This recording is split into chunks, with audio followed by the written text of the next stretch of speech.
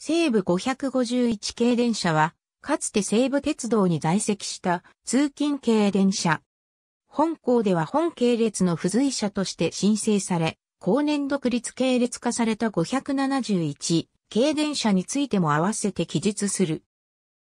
451系の後継形式として、1961年9月から1962年4月にかけてモハ551系差波1551系差波1551系モハ551型からなる4両編成6本24両が申請された。ついで1962年9月から同年10月にかけて、サハ1551系1563の1572が申請されたが、同重量は501系が主電動機出力の余裕を活用し、都市部の高速鉄道としては、異例の 2M4T 編成を組むに際して、同系列の増結用付随車として申請されたものであった。高年同重量も本系列に統合され、さらに後年の改造によって571系として独立系列化されるに至るが、詳細は口述する。軽量構造の全金属製20メートル級車体であり、構え体設計は451系のそれを踏襲しているものの、全面形状は451系の切り妻形状とは異なり、501系以来の湘南型デザインが採用された。ただし、全面窓は極細の仕切りによってに分割された連続窓風の処理がなされ、埋め込み型となった標識灯とともに501系と比較して近代的な印象を与えるものとなった。なお、この全面窓の処理は1964年から申請された701系によってさらなるアレンジが加えられて一応の完成を見た後、1969年から1976年にかけて申請された101系まで長らく受け継がれた。側窓は451系と同様に連ユニット構造のアルミサッシが採用され、窓配置も先頭車が D1、D2、2D2、2D2、中間車が 2D2、2D2.2、D2 と451系と同一であるが、客用扉がアルミハニカム構造化され、扉窓固定指示も従来のエッジゴム固定から金属枠固定に変更された点が異なる。連結面は貫通路が501系後期車以来の 1200mm 幅の広幅貫通路となり、貫通扉は再び廃止された。また、細部では、側面庫平表示灯が451系の横丁形状のものから丸型に改められている。ベンチレーターは従来車に採用されたガーランド型と比較して、より換気効率の高いグローブ型に変更された。1両あたりの個数は、電動車が6個左派が8個で変化はない。なお、後述ファンデリア直上に設置されたベンチレーターは上下吹き抜けのない特殊形状のものとされ、通常形状のものと特殊形状のものが一つ置きに交互に並ぶという外観上の特徴を有していた。車内はロングシート仕様でカラースキーム等は451系と同一であるが、車内換気装置として搭載されるファンデリアが1両あたり4機に倍増した点が異なる。なお、本系列は当初よりディープラズベリーとサンドベージュの2色塗り、いわゆる赤電カラーに塗装されて落成している。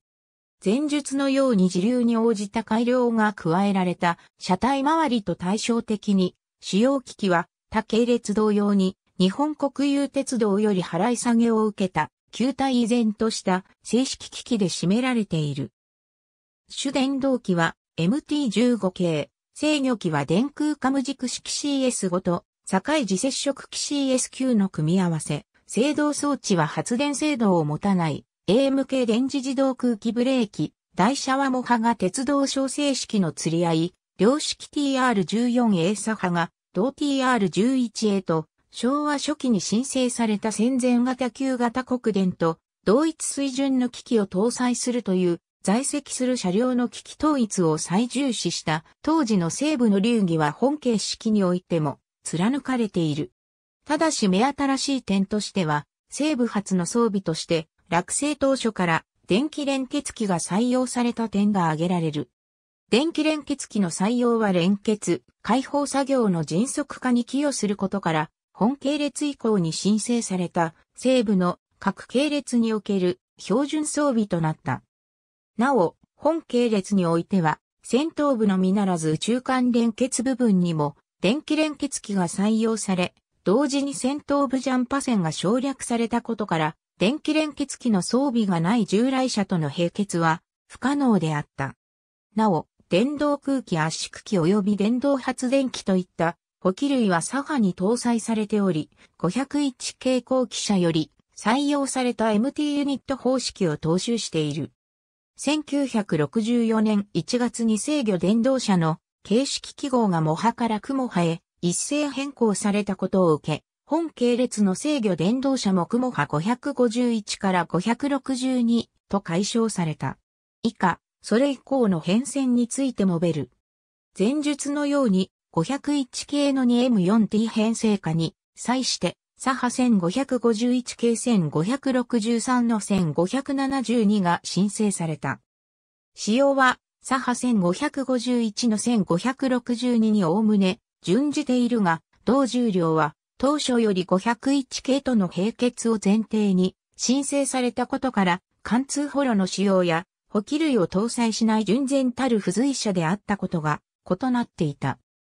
その他、扉窓が H ゴム固定の構成扉に戻ったほか、側面サッシが無塗装化され、車内送風機の扇風機化に伴ってベンチレーターは通常形状のグローブ型に統一され、側面固平表示灯が横長形状のものとされた点が主な相違点である。501系521から529編成に2両ずつ組み込まれて運用された左派1551系1563の1572であるが、2M4T 編成の走行性能的な問題から1967年までに全車501系編成から外され、半数を電装、中間電動車化の上で551系551から559編成に順次組み込まれた。同改造に際しては、左派1563の1571が雲波551型と同一の機器で伝送され、中間電動車も波571系571から579へ、左派1564の1572は、左派1551の1562同様に補機を追加した上で、左派1571系1571の1579へそれぞれ解消、改版された。なお、同編成外に際しても、派579の未種電動機の入手遅れから、左派代用として運用せざるを得なかったため、1968年12月に、モハ579左派1579を組み込む559編成の雲波559.560の種、電動機と台車を MT30 及び TR22 に換装して対応した。501系で消滅した 2M4T 編成が、図らずも本系列で復活した形となったが、翌1969年9月にはモハ579も MT30 主電動機と TR22 台車を装備して正式に電動車となり、結果559編成は、西武の釣り掛け駆動車のみで編成された6両編成時における最強力編成となった。1966年から1968年にかけて貫通路渡り板を3枚構造化し、合わせて運転台スイッチの一部、ノーヒューズブレーカー化、及び中間連結部分を通常のジャンパ線を使用した連結方式に改め、同部分の電気連結機を撤去する改造が施行された。また1972年より車内吹き抜け風対策として左派1551系奇数車及び左派1571系の池袋、本川越より車端部に両開き貫通扉が新設され、1970年代半ば頃には左派の MGE を101系及び701系の冷房化に伴う発生品に乾燥して低圧電源が交流化されたほか、指定後期を旧型の6箱仕様のものから新型の2箱仕様のものへの乾燥が実施された。その他、車内送風機の扇風機か、暖房機のシーズ線化に伴う、車内座席かけ込み板のステンレス化、先頭車前面窓内側に行き先表示幕の新設、ATS の整備及び、列車無線の搭載、全消灯のシールドビーム2等化等が順次、施行されている。1971年より、比較的経年の低い吊り掛け駆動車各形式の電動車を対象に、台車を住友金属工業製、ペデスタル式空気バネ台車 FS40 への換装が実施された。本系列も1973年よりクモハ551から556、モハ571、573、575を対象に交換が実施されている。なお、台車交換を行った車両は、ブレーキシリンダーが台車側装備となったことから、制動装置に中継弁を追加している。さらに1978年以降、411系の新性能化改造に伴って余剰となった FS40 台車を流用し、雲波557、558差波1551の1556についても空気バネ台車化が実施された。前述411系が701系列の冷房化及び電磁直通ブレーキ化に従って、その増結用車として順次新性能化改造を施行されたことに伴い、旧性能車の2両編成が不足をきたす事態となった。そのため、残存する釣り掛け駆動車のうち比較的経年の低かったモハ571系、サハ1571型が、その代替用途に選ばれ、1978年9月から翌1979年3月にかけて運転台取り付け、戦闘車化改造が施行された。新設された運転台側前面は411系同様の切妻形状とされたが、前面、左側窓上に埋め込み型の行き先表示幕を装備したことが特徴である。これは411系を改造した401系と同一の衣装であり、車体側に行き先表示幕を設置した例は、旧性能車では唯一であった。また、これも、旧性能車では唯一となる、起立形状とされた、運転台パネルやスイッチ配置等にも401系の衣装が反映されている。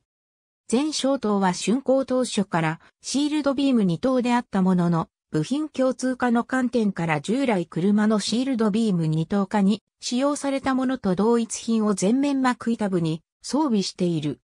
なお、同改造に際して電動車の台車が FS40 に統一されたほか、モハ579は主電動機を MT15 系に換装され、性能の統一が図られた。これら改造に伴っても、ハ571型は車番はそのままに雲波571型と解消し、左波1571型は区波1571、計1572から1580へ解消、改版され、新たに571系と新規系列に区分されて551系より独立した。4両固定編成という特性上、比較的晩年まで本線系統で多く運用された551系であったが、比例棒の旧性能車であることがネックとなり、1984年に初の廃車が発生した。廃車となったのは、前述空気バネ台車化の対象外とされ、最後まで TR14A11A 台車を装備した559.561編成で、同年3月28日付で除籍された。ついで、451系全廃に伴い余剰となった区波1651型特模波551型を編成して単編成化を実施することとなり、新たに2両編成が3本誕生し、主に玉川線で運用されることとなった。同編成外によって余剰となった雲波555差波1555の1558の5両は1984年5月29日付で全車廃車となった。4両編成のまま残存した551.553編成はいずれも新宿線系統に配属され、灰島線における区間運用や西武沿線等の支線区で運用されたが、1985年3月に553編成が、同年10月には551編成が相次いで廃車となり、551系の4両編成は消滅した。一方、571系は前述の通り旧、性能車編成の増結目的で誕生したものの、1980年代以降の旧性能車大量淘汰によって、旧性能車の本線系統における運用そのものが激減したことから、後年は、狭山線、西武沿線と四線区における運用が主となった後、前述556から558編成と前後して玉川線へ転属した。晩年の551系、571軽量 O 系列は前述の通り主に玉川線で運用され、1980年代における玉川線は玉子線と並んで旧性能車の最後の画像であった。なお、同線においては編成がほぼ固定化されていたことから、551系、571系ともに常時戦闘に出る戦闘車の電気連結機が撤去されていたことも特徴であった。しかし、1987年より本線系統で余剰となった401系及び701系によって玉川線の冷房化促進、新性能化を実施することとなり、同年10月には検査期限の迫った551系558編成及び571系575編成が代替廃車となった。翌1988年には残る551計556.557編成及び571系571.573、577.579編成も順次運用を離脱し、同年2月から3月にかけて除籍となり、551系、571系は形式消滅した。廃車後、551系は全24両中わずか5両が総武流山電鉄及び市畑電気鉄道へ譲渡されたに過ぎない。うち2両は、両運転台化が施行され、残る3両木破1651型と編成された2連での譲渡である。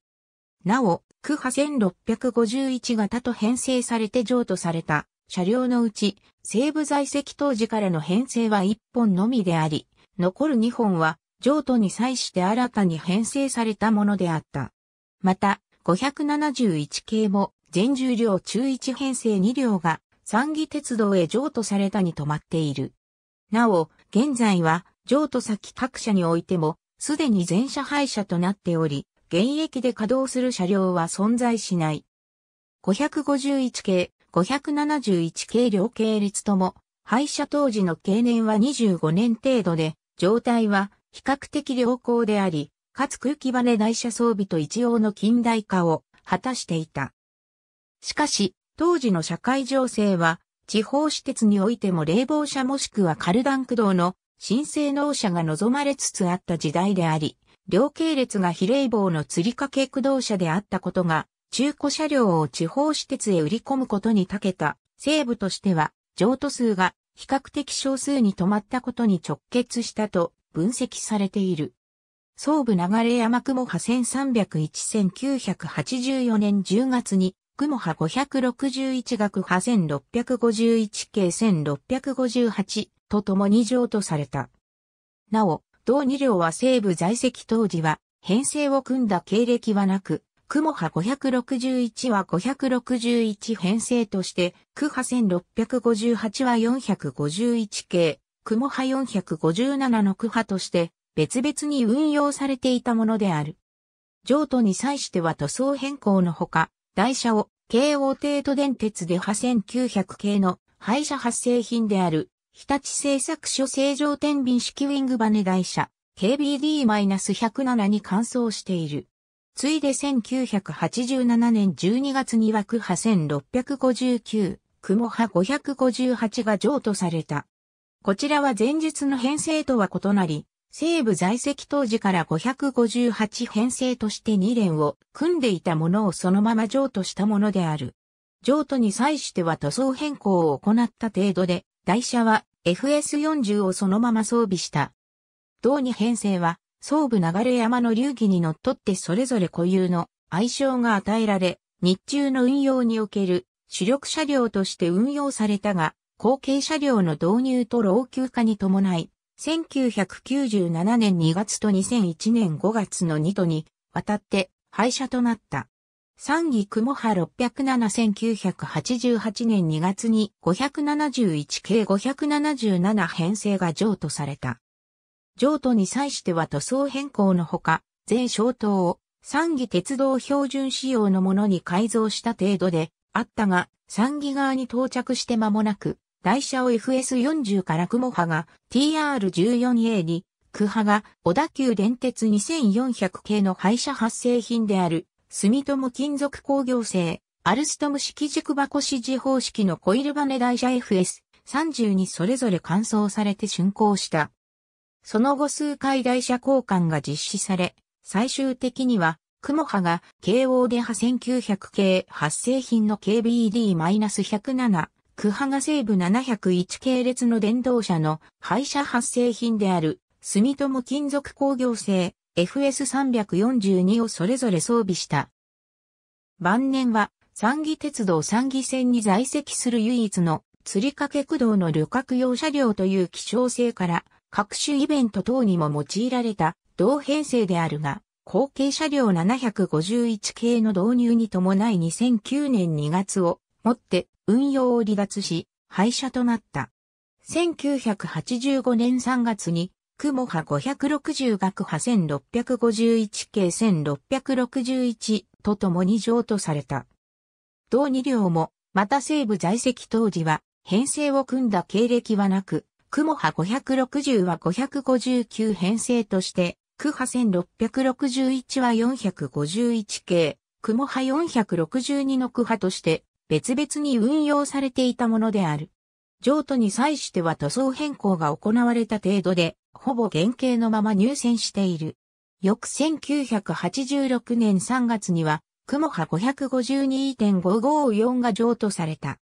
こちらは、譲渡に際して雲波552は、雲波551の運転台を、雲波554は、雲波553の運転台を、それぞれ元来の連結面側に接合し、両運転台化改造を施行した上で入線した。